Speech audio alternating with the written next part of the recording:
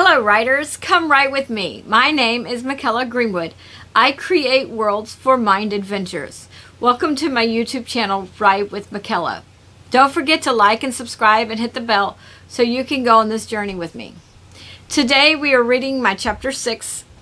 If you're writing with me and you wish to exchange chapters, then I need written permission to read your chapter on the channel along with your name or pen name and age. I also need permission from your parent or legal guardian if you are under 18 years of age. If you're under 18 years old and have guardian permission, then I will need a pen name to read your material.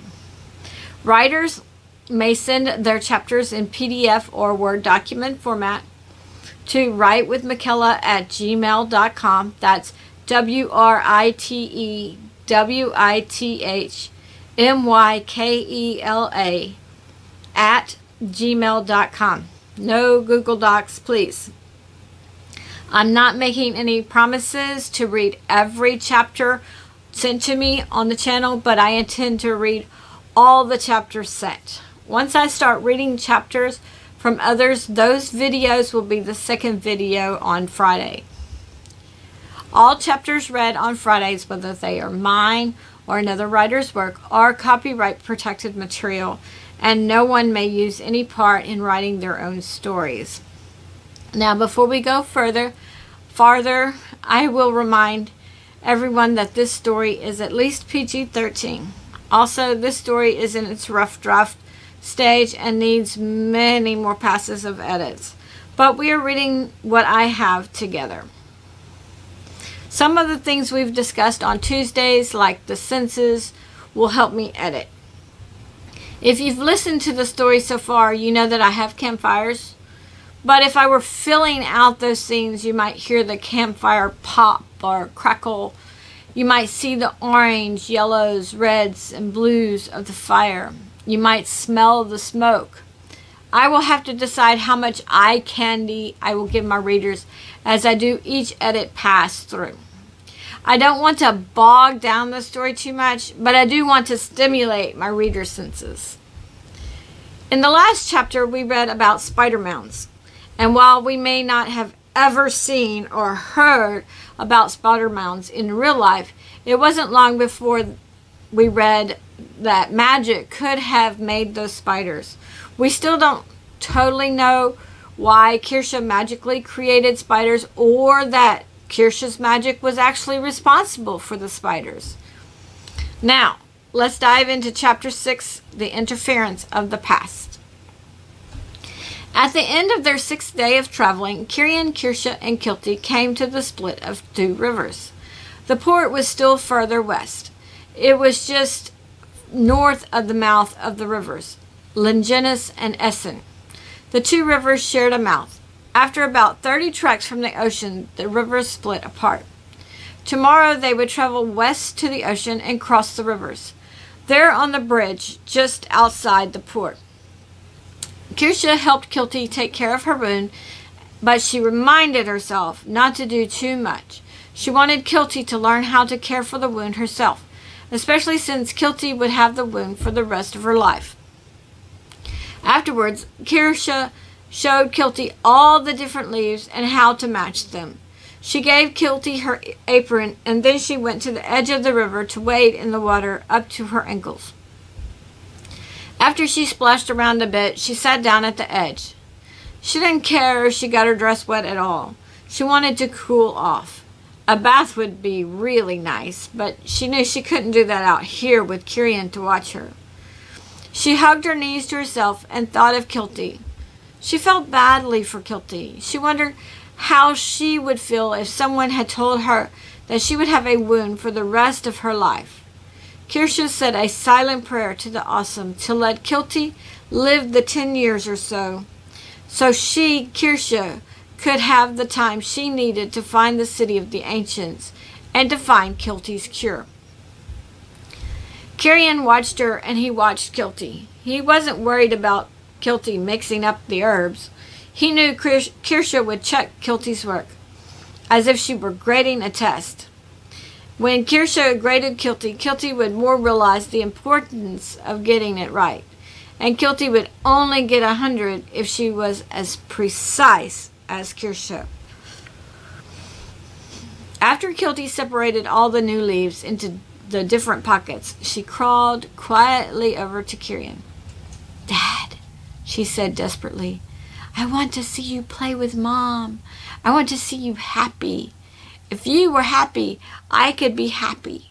Even with a bad leg for the rest of my life, I could be happy. Kirian smiled gently at Kilty. He realized that Kilty understood that her leg would not get better. Yet, here all she worried about was Kirsch's and his happiness. What do you suggest? Splash her, said Kilty as she giggled behind her hand. She's already wet, so she can't get mad. Kirian looked over to Kirsche. He looked back at Kilty and winked at her. He got up ever so quietly and crept crept towards the river's edge a little farther down the river from Kirsche. If he got to the river's edge, he could splash Kirsche, even if she started to run away. As he got closer, he noticed she had undone her long braid and she had her hair draped over her shoulders and over her face. She was slightly rocking back and forth. Kirian felt like Kirsche was crying. He wanted to ask her why, but then he looked back at Kilty, who, was, who watched expectantly and eagerly. Kirian slipped his hand silently in the water. Quickly he splashed Kirsche once, then twice. On the third splash, Kirsche was looking up as she was pushing her hair out of her face. She stared bewildered at Kirian for a few minutes. He was squatting at the edge of the river, and he was smiling broadly as he splashed her. Kirsche just bent her head back down to her knees and continued crying. Kirian splashed her a few more times before he realized that she wasn't ducking away from the water.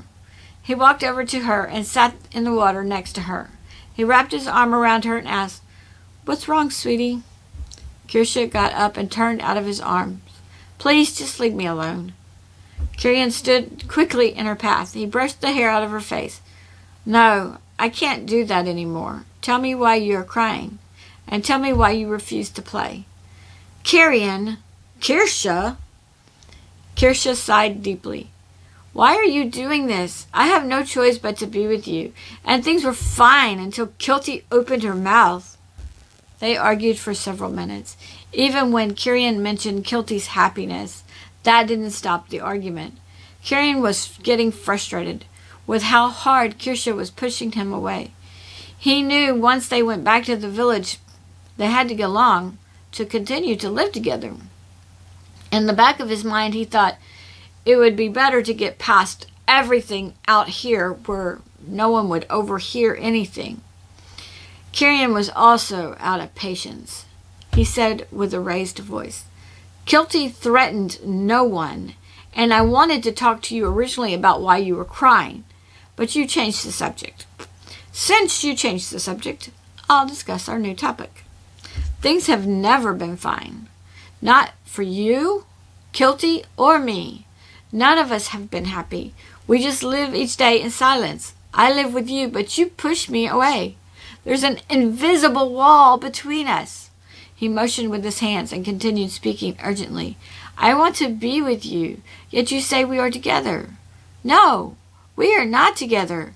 I cannot live the rest of my life like this. Then tell Mr. Verkov, argued Kirsche. Don't tell me. I am happy. At least I was. Our lives are just fine. The only problem I see is that you won't work. You're too lazy to work. Kirsche, this has nothing to do with whether or not I work and bring in money, stated Kirian, frustrated.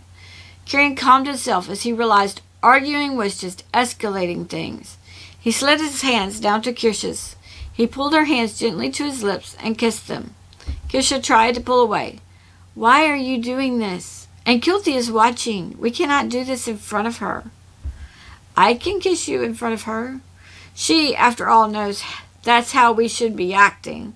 You're the one that doesn't know. Kirsche pulled harder, and her tears flooded through her. Please leave me alone.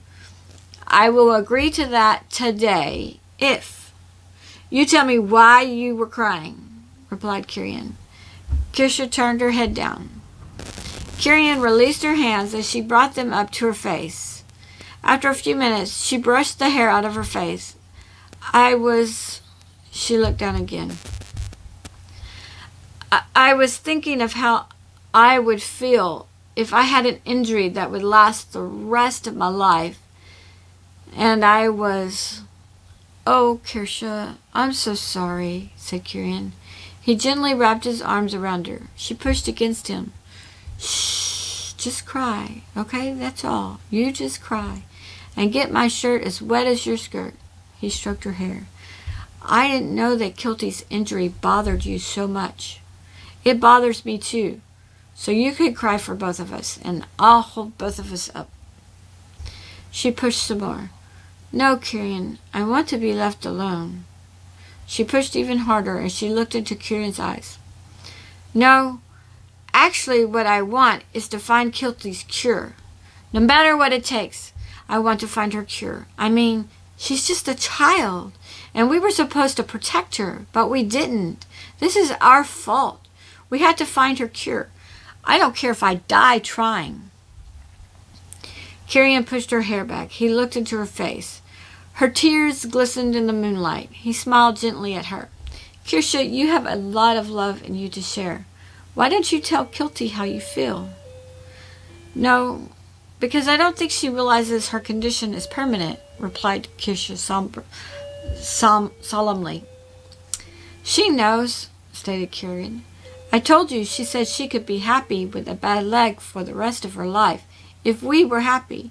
It wasn't a threat. It was honesty. She cares more for our happiness than she does herself. Kirsha looked down. Kirian gently lifted her chin and bent to kiss her. Kirsha turned her head down again, and Kirian's kiss landed on her forehead. Kirian lifted her chin again. Let us be together, not just for Kilty, but for us. Kirsha pushed his hand down. Kirian, I cannot give you what you want. Ask Mr. Volkov for a different arrangement. I will take Kilty with me to find the cure. You can tell the village what you will. Tell them that Kilty isn't your daughter. I don't care. But I'm finding Kilty's cure. Kirsha walked past Kirian to her blanket. Kirian turned around and realized that Kilty had watched everything. Kilty watched Kirian return with wide eyes. Kirian realized when he got closer that Kilty was on the verge of crying. He grew frustrated. He didn't know how to handle all this crying, so he just plopped down on his blanket. Well, asked Kilty impatiently, what happened? Why did you kiss her on the top of her head like she's a child? Why didn't you kiss her? Kirsha sat up. Kilty, that is more than enough. I am not going to listen to another word. Kilty, said Kirian softly, Kirsha is worried about you. She doesn't believe that you know that your leg will hurt for the rest of your life, and... I do know, pleaded Kilty. Dr. Highhand said I might live ten years or I might die tomorrow. He said there was no cure. Right, agreed Kirian. There is no cure. So Kirsha is worried sick about you. That's why I kissed her head, to tell her I understand how she feels. Life isn't all fun and games. I, as a man, will kiss Kirsha differently depending on what I want to tell her. You most certainly will not, stated Kirsha. That was the first and last kiss ever. You are going to tell Mr. Volkov to get you a new wife. But, but, cried Kilty. Kirian felt like crying himself. He couldn't understand why Kirsha pushed him away, especially when he knew without a doubt that she loved Kilty and him. And he knew he wouldn't understand until Kirsha would talk to him. Yes, Kirsha, but right now we are sleeping, and tomorrow we are walking to the port, and then we are going to find the cave. So go to sleep. You too, Kilty, go to sleep. Kilty obediently lay down. She was scared. She didn't want Kirsha to leave them.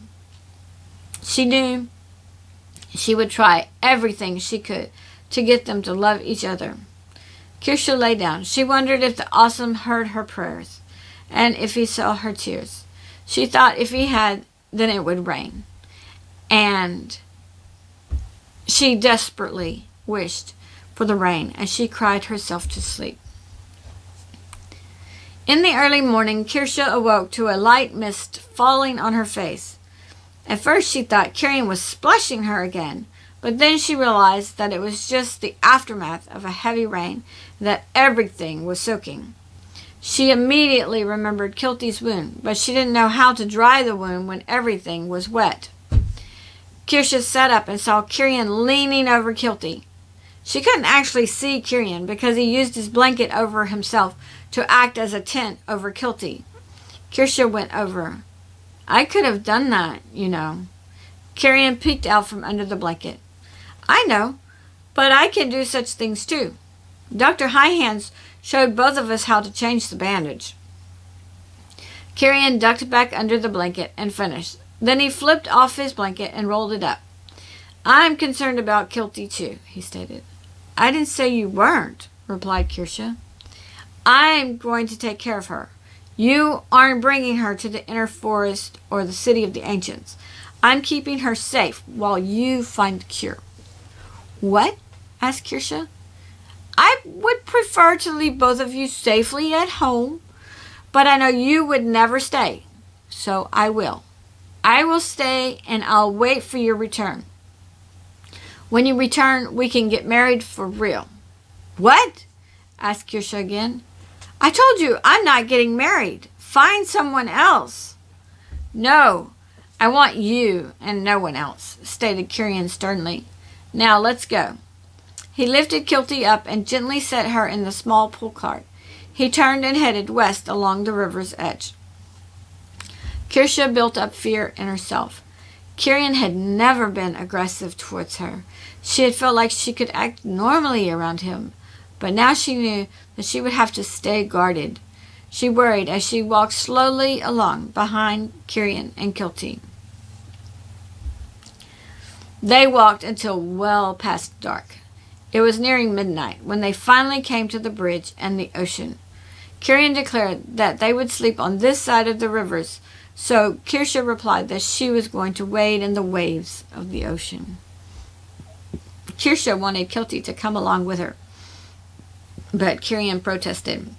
Kil- Kilty getting her wind wet, especially after all the rain from last night. Then Kirian told Kirsha not to stay out too long because the Spicus fleckus would be out soon. And he added that he didn't need two injured females to deal with. Kirsha rolled her eyes. She gathered up her dress and waded out.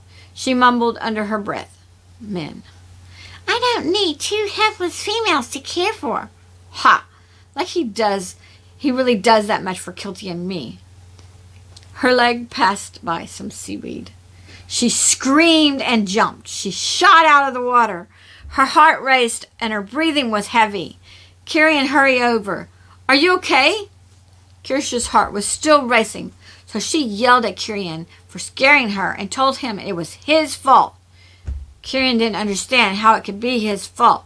So Kirsha told him that something passed by her leg, and her mind told her Spicus fleckus. Then she reiterated that Kirian scared her. She showed Kirian her leg and asked if he saw any marks. Then she walked back to her blanket. Kirian chuckled. I didn't mean to scare you, he called. I just didn't want you to throw all caution in the river while you played in the ocean. He laughed and walked to his blanket. I'm glad you're okay, he said, trying to comfort her. Okay, she said, irritated. Do you think being scared witless is okay? Would you two stop fighting? yelled Kilty. I hated the silence, but I hate the fighting even more. Kilty, we are not fighting, stated Kirsha. If we were fighting, Kirian would be yelling too. Is he yelling? No, he's laughing at me, at us, at females, because we're oh so delicate. She rolled her eyes and lay down to sleep. It's not my fault that a little piece of seaweed made you fly out of the water laughed Kirian. But now that I know you're not hurt, I think it's absolutely hilarious. I wanted a moment of peace. I wanted to relax, said Kirsche undainly. I didn't remind you of the spicus fleckus to scare you, replied Kirian. You do not give me my due credit. I reminded you of them because I care for you. I I love you. Kirsha sat straight up and turned toward Kirian. You what? I love you, stated Kirian. He felt tremendously better, like someone had lifted a huge weight off his chest, because now he could breathe easier. He smiled at her. No, you don't, returned Kirsche. Scenes of her adopting parents went through her mind. She knew her father would tell her mother he loved her to calm her down and coax her to let her guard down. Then he would capture her and torture her again. While Kirsche wasn't sure exactly what her father did to her mother, she knew it was some sort of mental torture. Her mother would scream out when he touched her. At least some of the time she did. Other times there was nothing. Kirsche wasn't sure what the difference was. Her statement, her reaction, shocked Kirian and Kilty. Kirian looked at Kirsche. She looked like she would bolt away any moment. Kirsche I said that I love you because it is true, reasoned Kirian. Why else would I say it? Please, Kirian, don't. Please, Kirsche cried. I beg of you not to do this. Please. You've never acted this way before. Please, let's just find the information we came for. I wanted to help Kilty. I didn't think you would do this. Do what? asked Kirian, confused. I don't understand a word of what you're saying. Kirian started for her. He wanted to comfort her. Kirsche jumped back. I don't want you to touch me. I, I, I don't want... She didn't finish her sentence. How could she explain what her father did to her mother, or what Dante started to do to her after he beat her near to death? She remembered the piercing pain in her mind. It was such a blinding pain that she didn't know that Dante only beat her and that someone else was trying to enter her body. Kirian stopped. He badly wanted to talk to Kirsche about what she meant. He glanced at Kilty. Kilty looked confused and scared. She bit her lip, and she trembled. He looked back at Kirsche. She looked like a frightened animal that was ready to bolt. Kirian stepped back, and something told him to look for spider mounds. He saw three of them. He glanced over his shoulder to the bridge. He didn't want to cross it without some good light. He wanted to see the wood's condition. He looked back and the spider mounds were shrinking to nothing. Kirsche eased back to her blanket. She didn't take her eyes off Kirian. Kirsche gathered up her blanket and spread it out near Kilty's. Kilty looked between the two. She sensed Kirsche's fear was great, so she too became fearful and afraid. Kirian didn't know what to do because now both females jumped every time he moved. He lay down and replayed the conversation in his mind. He tried remembering the conversations they had had in the past three years, which wasn't too hard, since they never talked much, especially not about feelings. Kirian knew that Kirsche always kept some distance between them if possible, even when they shared the same bed. Kirsche would sleep at the very edge, and she insisted on separate covers. Kirsche never used a nightdress either. Kirian thought perhaps that Kirsche thought it was too much trouble to change. Now he wondered. He thought, but love is a good thing. I thought she liked me. My love for her should have excited her. What would make her so scared of love? Kirian started drifting into sleep. And what was what else was she going to say? I need to figure that out. In the morning, when Kirian awoke, Kirsche was washing her face in the river, and Kilty was still asleep. Kirian decided to talk to Kirsche. He quietly walked over. Kirsche turned around and saw him. She looked to the ground and tried to hurry past him. Kirian gripped her arm and pulled her back. Kirsche tried to scream Kilty's name, but Kirian covered her mouth. I'm not going to hurt you, Kirian stated frustrated. I want to talk to you while Kilty is asleep. Kirian wrapped his arms around Kirsha. Kirsha frantically tried to escape his grip. Kirian gripped her shoulders and pushed her down. Sit, he commanded. She sat. She scooted back away from Kirian until she was at the river's edge. She furtively looked over to Kilty's sleeping form. Kirsha, what is wrong with you? What are you so scared of? asked Kirian. I don't want to be hurt. I don't want to be tortured, she replied. Kirian didn't know what Kirsha was afraid of. Torture didn't really make sense to him. So he probed about what could have hurt Kirsha. He started with saying he was go- he wasn't going to leave Kirsha and asked if anyone had abandoned her. He asked if she had been married before. Even though she had been 13 when they met, he knew of girls who married at age 12. Kirsha shook her head no, even though she knew her real parents had abandoned her. Did the man not show up on your wedding day? Is that it? Were you jilted? continued Kirian. Kirsha again shook her head no. Then she bolted back to the blankets. Kilty, get up! We need to go! Hurry, get up! Kirsha shook Kilty. Kirian felt at odds. He decided not to press the issue any further, at least until Kirsha calmed down some. If she calmed down, then perhaps she would be more reasonable. They were ready to go in no time. Kirian carried Kilty on his shoulders across the bridge that crossed over both rivers. Then he went back across. He and Kirsha pushed and pulled the little cart across. Kirsha had calmed greatly. She seemed to be her old self again. She concentrated on finding the cave. She had them start by heading north along the coast. Excuse me. When the coast curved northeast, they would head straight east, inland 20 treks, and then would angle back out to the shore. They would repeat this until they found the cave. If there was a if there was a cave. Kirsha said that if they didn't find the cave within 20 treks from the shore, then they would search 20 treks inland to 40 treks inland. Kirian argued it would be easier if we went 40 treks inland to begin with and then head back out. You don't know where the cave is? asked Kilty, as she realized they might not find her cure. At this point, she didn't realize that the cure was in the city of the ancients, and they were only looking for a map here. Well, sweetie, the book said near the northwestern shore, replied Kirsha. But there is a lot of ground out here. But if it's a cave, we should be able to see it from far away, right? asked Kilty. Not if the cave is underground, which does seem a bit impossible since we are so close to the ocean, answered Kirsha. But perhaps we could see it from far off. Well, I could ride on Dad's shoulders, then I could see far ahead, exclaimed Kilty. No, Kilty, you are too heavy, stated Kirsha. That's too long for him to carry you. I can carry her, stated Kirian. He looked at Kilty. Just so long as you never call me Dad again. Okay, replied Kilty. She didn't care, so long as she got to ride on his shoulders.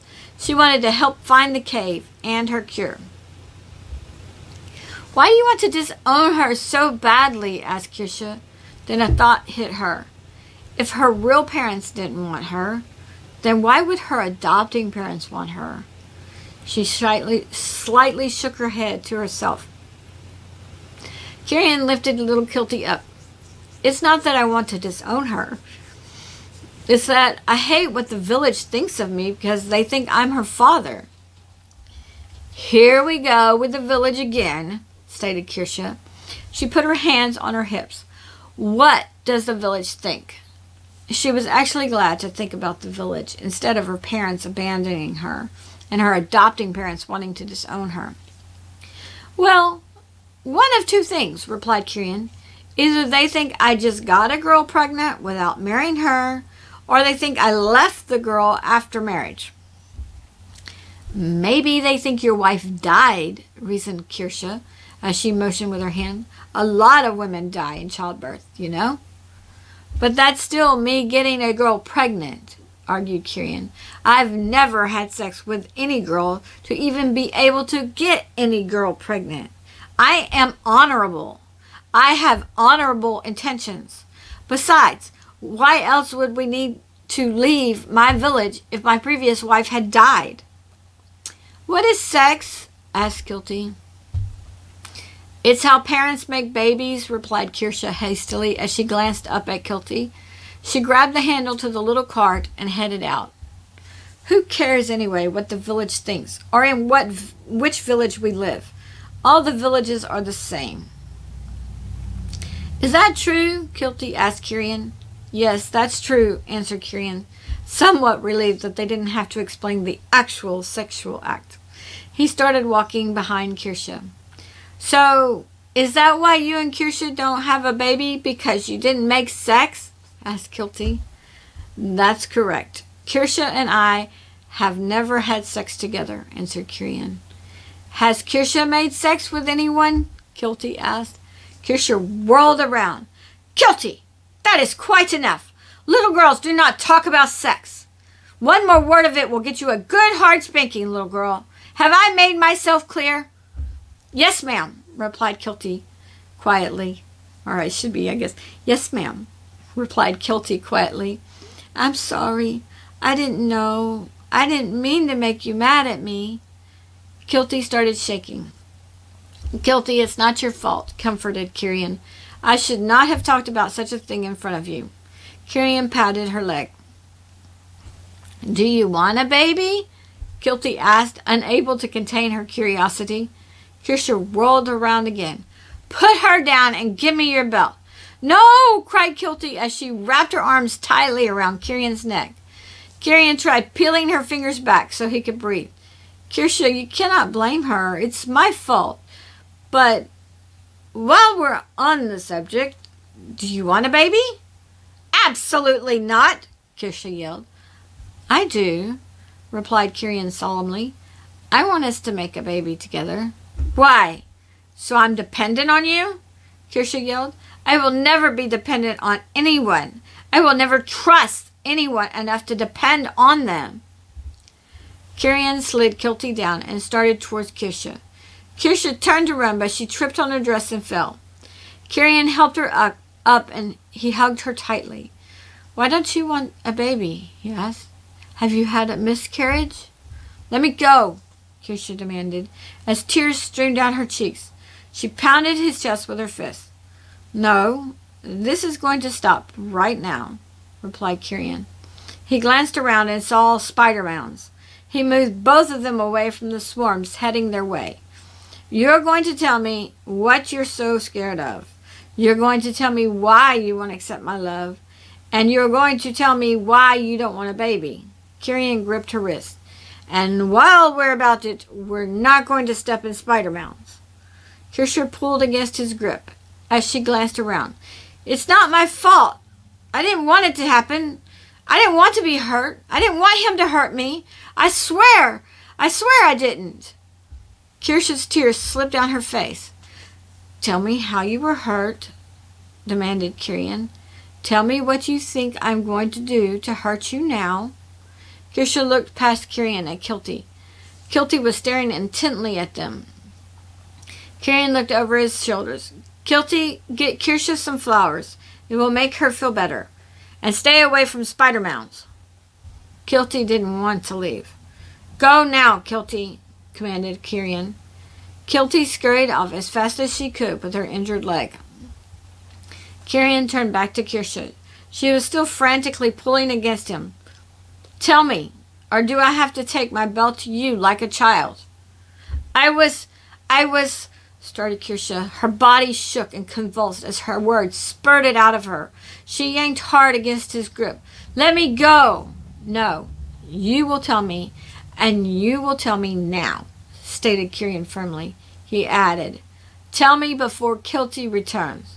He pulled her back close and again wrapped his arms around her. I was, but, but, beaten. Her, her breast came in jerks. She tried to calm down, but she shook all the more. Se, se, several t, t, times, my p, p, parents parents s, s, said that that I, I, I was, her, her shaking increased. I was uh, ugly, not beautiful. They, they didn't want to, want to even look at me, me because, because I was, I was so ugly. Kirian felt anger rise within him. He was also very concerned for Kirsha. He didn't know how to get her to stop shaking. He kept his arms around her protectively, and he squeezed her tightly. He kissed the top of her head. Your parents were wrong, Kirian stated. No one could ever take away your beauty. Kirian paused. Did did anything else happen? No, no, no, no she said jerkily. The, the, thank the, the, the, the awesome. The, that was it. The, the, that was enough. Kirian petted her. Oh, Kirsha, I love you. I would never hurt you that way. I would never hit you, even when we're married. I, I, I don't, don't, w- w- w- want to, to, to get ma- married, she spurted out. Then I will ask you every day, stated Kirian. I'll ask you until you say yes. Kirian held her tightly until she stopped shaking. Kilty came back. She sat near the wagon and waited quietly. She did make sure not to sit near a spider mound. Eh, after some time, Kirsha stopped pushing against Kirian. She gripped his shirt tightly in her hands as her tears soaked the front of his shirt. Kirian relaxed his hold on her. He lifted her chin and wiped away the rest of her tears. Are you ready to keep going? She nodded her head yes. They again started walking. Kirian thought of Kirsha's experience. He knew that she had lost her parents as he had. He had thought the reason for her not talking about her past was because of the painful loss of her parents. But this was never one of his thoughts about her. He never realized how truly fragile she was. She seemed so confident and reliable. He wondered how old Kirsha had been when whosoever beat her, and he wondered how badly. He hadn't noticed scars when he was getting the spiders off her, but he hadn't noticed anything but the spiders. They walked along deep in thought. The heat of the sun was almost unnoticed by them, and they didn't stop for lunch like the other days of their travel. They just nibbled and walked. By mid afternoon, the coastline curved northeast, so they headed due east. Kirsha felt confident that they could find the cave. For the time being, she forgot her past and tried to spread out like the wind to feel what they might not see. Kirsha did this subconsciously. In the early evening, they stopped for the night. They were tired from walking until midnight yesterday and then starting so early this morning. Kilty got what she needed to change her bandage and got out her blanket. She spread out her blanket without Kirsha saying a word. Her leg felt extra stiff this evening, so she was anxious to get the new herbs on it, but she didn't want Kirsha to know. Kirian wanted to know more about what had happened to Kirsha, but he didn't know how to reapproach the subject. So he went about building them a fire. Even though Kirsha was tired, she just paced back and forth. When Kirian finished the fire, he sat back on his heels. He watched Kirsha. He glanced to Kilty and got an idea.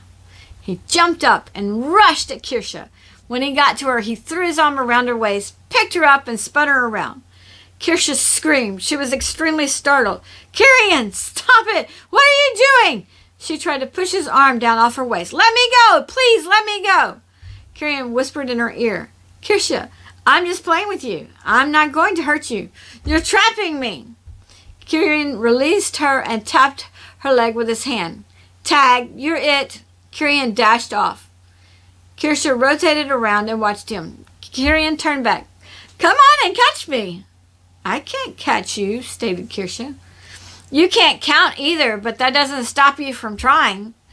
Kirsha put her hands on her hips. I can count.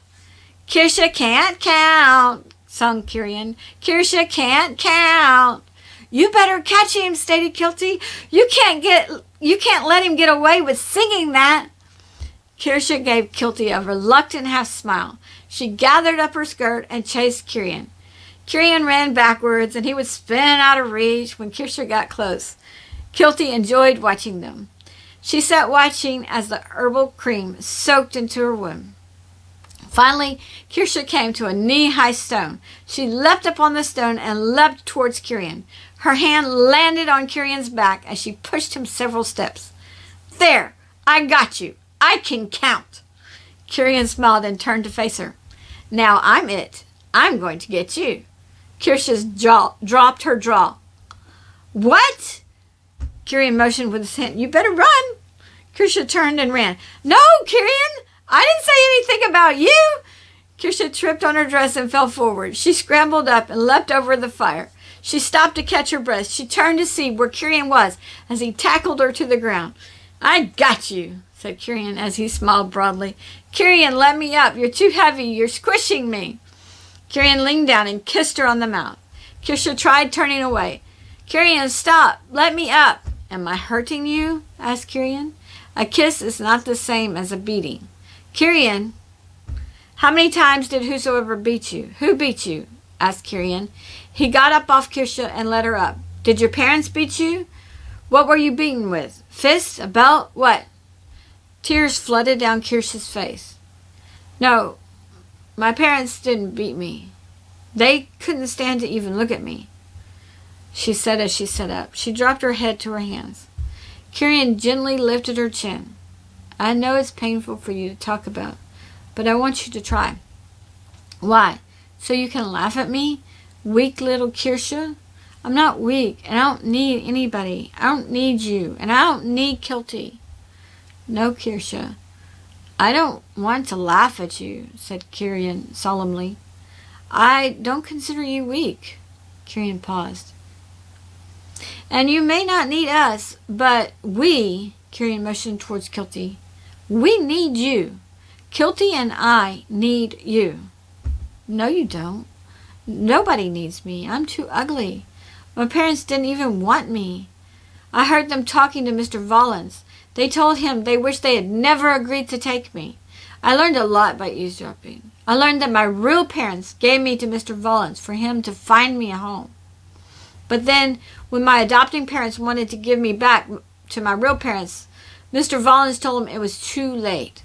My parents had already gone to some place. I don't remember the name exactly, but it ended with rarius or rarium.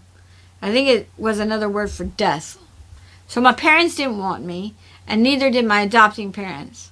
I asked Mr. Vollins if, he, if I could live with him. He said no. He said I would better understand why later. Well, later came. My parents died, and the first thing Mr. Vollins did was ship me off. He didn't want me either, only he couldn't say that to my face. Maybe I was better off with him not telling me, but I never would have believed that until I heard you tell Kilty you don't want her.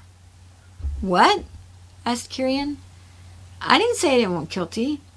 I said I didn't want her to call me Dad. I said I didn't want the village to think she was mine. But you agreed to take her stated Kirsha fiercely. I was there. I heard you. But you don't want Kilty, especially when she gets when she hurts herself. Kirian sighed. He looked over to Kilty. I never meant things to sound that way. I want Kilty. I want her with us always. It's just it's just I don't like the village thinking that we don't take proper care of her. Here we go with the village again, stated Kirsha, exasperated. For the life of me, I don't know why you're so bent on express, ex, impressing the village. I hate the village. There is no way in this life to ever impress the village. The village doesn't like it when we keep Kilty indoors until I let her go out to play and she hurts herself. I'll tell you, not one child who ever played didn't come home with a bruise. When children play precariously, they hurt themselves. You can't have things both ways. But the village complains either way. You cannot ever please or impress the village. Ever. They are a sorry lot of hypocrites. Kirian stared at Kirsha a few minutes. He glanced at Kilty again. He turned back to Kirsha and said, You are right. I I never thought about the conflicting criticisms before. Well then, answer the question for yourself. Do we or do we not take proper care of Kilty? Do we feed her? Do we see that she takes a bath after playing? When she gets hurt, do we bring her to Dr. Highhands? And while we're on him, I'll point out that is why Dr. Highhands is there to help those who hurt themselves or have something hurt them, whether they be children or adults, whether it's from playing or working. Kirsha paused. She motioned to Kilty. Look at her. Kirian looked at Kilty. When she came to us, she was sickly and overly thin. She's still small, but she's grown a lot. She has at least some meat on her bones now. And she has color. She has rosy cheeks, glistening eyes. She isn't pale white anymore. She came to us in rags. Now she has pretty dresses and nice boots. She has a bonnet for when it's hot and a coat for when it's cold. How can anyone legitimately say that Kilty doesn't have proper care? Kirian turned back to Kirsha and smiled at her. You're absolutely right. Oh, Kirsha, I love you so much. Kirsha turned her gaze down. Kirian gently lifted her chin. Hey, you're pretty and I love you. I want you no matter what. Kirsha slipped her hand in his and pushed his hand down off her chin. We need to go to sleep, she said. Yes, dear. Just let me get my blanket so I can sleep next to you. No, Kirian, pleaded Kirsha. I'm not going to beat you, but I'm going to make a happy home for my daughter Kilty. Kirsha glanced at Kilty. Kilty didn't know if she should smile or not. Well, at least check Kilty's wound first, relented Kirsha. She changed her bandage by herself. You need to make sure she did it right. Kirian did. Kilty had done a good job. If Kilty, if Kirian hadn't known otherwise, he would have thought that Kirsha had applied the herbal cream and had rewrapped Kilty's wound. Kirian spread his blanket next to Kirsha and snuggled up to her. Kirsha leaned back slightly. Do you have to be so close? she asked. Yes, replied Kirian. I can't breathe. You can breathe just fine, stated Kirian, and I'm not suffocating you. Just relax and go to sleep. Kirsha sighed, but she was tired and she soon faded off to sleep. I see you're watching the children again, stated Arisha to her husband. Yes, well, it seems that Kirsha is as stubborn as her mother, teased Arik. What? I'm not stubborn, Arik chuckled.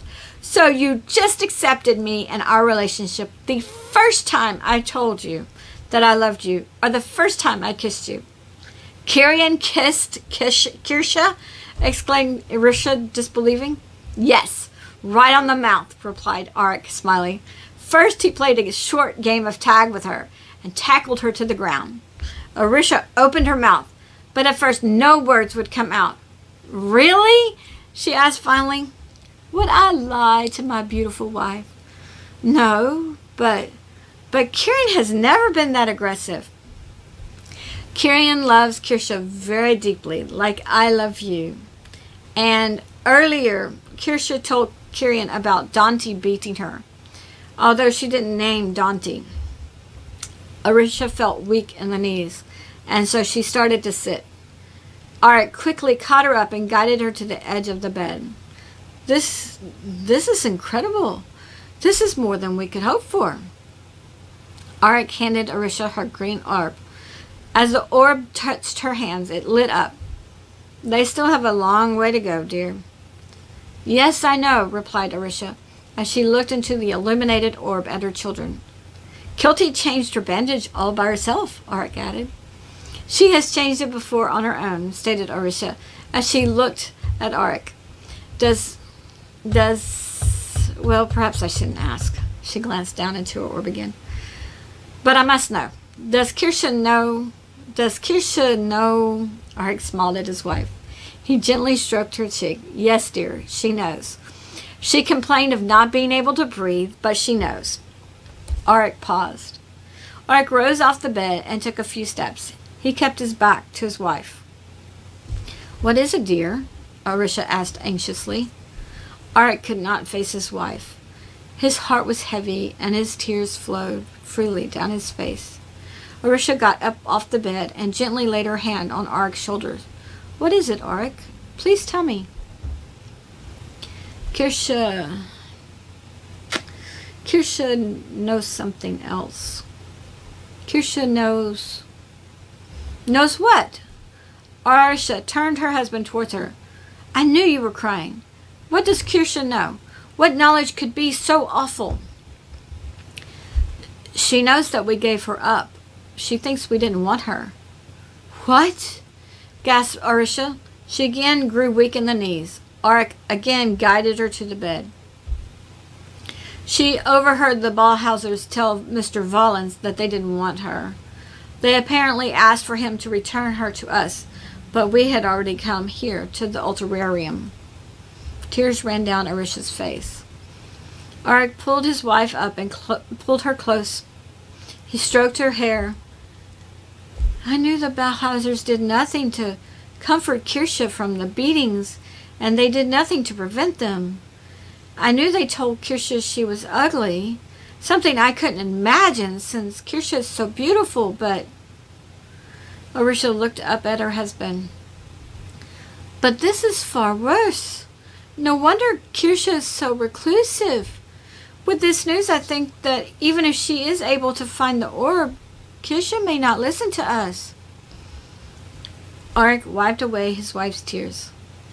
Kirsha is reclusive also partly because she has no use for the hypocrisy of the village. Come, let's get some rest.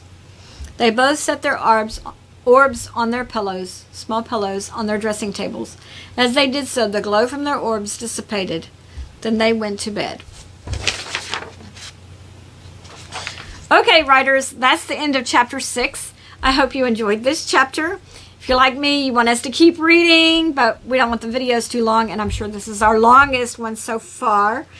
But we got in some of Kirsha's history. A character's history is important because it affects how they act and react. I'm sure we were wondering why Kirsha was so pushing Kirian away, and now we have a little bit of a, of a clue.